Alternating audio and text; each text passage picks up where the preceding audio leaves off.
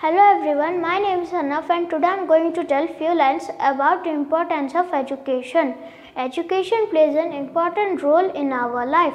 Education is very important for every country and for every individual human being. It begins at home and continues throughout our life. We all want to do something good in our life. Some people want to be doctor and some people want to be engineer. It helps us to be successful in our life. Without education, we cannot get the good position. Education enhances the confidence within us. Thank you.